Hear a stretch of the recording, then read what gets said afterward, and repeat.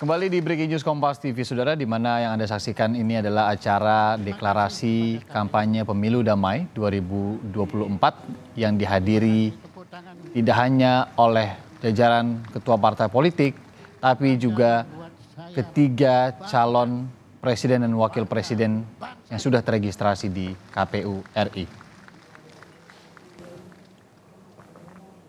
Saya akan bertanya juga kepada Mas Ilham Saputra, mantan komisioner KPU uh, waktu itu periode 2017-2022 2022 ini adalah pertanyaan terakhir mas ya. untuk menutup sesi kita saat ini. Uh, kalau kita kalau saya baca kampanye damai di KBB ini juga ada ya.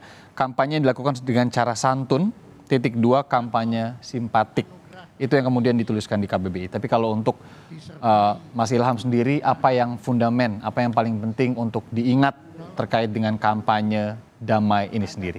Ya, pertama tentu uh, kampanye damai ini tentu adalah untuk menyukseskan pemilu 2024. Kampanye ini kan bagian dari tahap satu tahapan saja dibandingkan dengan beberapa tahapan yang kemudian uh, bisa dilakukan untuk menyukseskan pemilu 2024. Hmm. Yang paling penting adalah saya mengingatkan bahwa kampanye ini adalah pendidikan politik yang kepada masyarakat agar bisa memilih sesuai dengan visi dan misi yang disampaikan oleh para calon.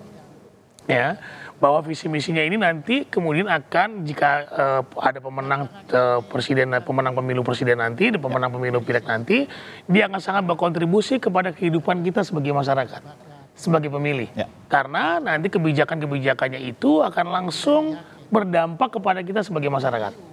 Nah itu yang saya ingatkan kepada uh, uh, seluruh pemilih nantinya, jangan lupa membaca visi dan misi dari pasangan calon presiden dan wakil presiden ini. Hmm, jangan Pasti. hanya melihat atau memilih karena tampilan depan ya, saja gitu ya.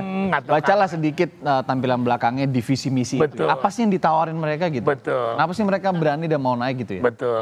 Kemudian kedua, ini kesempatan kepada masyarakat untuk mentres track record mereka atau melacak track record mereka apakah mereka orang-orang yang tepat menjadi pemimpin kita selama lima tahun ke depan. Hmm. Karena jika salah memilih tentu kita sebagai masyarakat akan terkena dampaknya. Yang ketiga adalah saya ingatkan bahwa pemilu damai ini, pemilu ini tidak hanya pemilu presiden. Ya. Bahwa ada pemilu legislatif, pemilu DPR RI, pemilu, Anda akan memilih DPRD provinsi, DPRD kabupaten kota, dan DPD juga difokus fokus juga kepada mereka jangan hanya fokus kepada pemilihan presiden yeah. gitu loh bahwa akan ada wakil-wakil rakyat yang nanti juga akan mengeluarkan kebijakan-kebijakannya yang berdampak kepada kita juga oleh karenanya juga sekali lagi silakan uh, trace track record mereka apakah mereka orang-orang yang tepat untuk menjadi wakil-wakil anda di parlemen mm. ya nah kemudian saya ingin imbau juga kepada penyelenggara pemilu bahwa kampanye ini benar dilakukan oleh peserta pemilu tetapi penyelenggara pemilu harus ber, bersikap netral. Penyelenggara pemilu harus profesional dan transparan dalam menyelenggarakan pemilunya.